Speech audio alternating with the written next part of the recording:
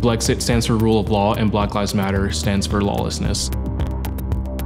Blexit, we understand the importance of our police and the rule of law and what it means to actually like protect our communities and Black Lives Matter. Of course, they incite violence and destruction to our communities.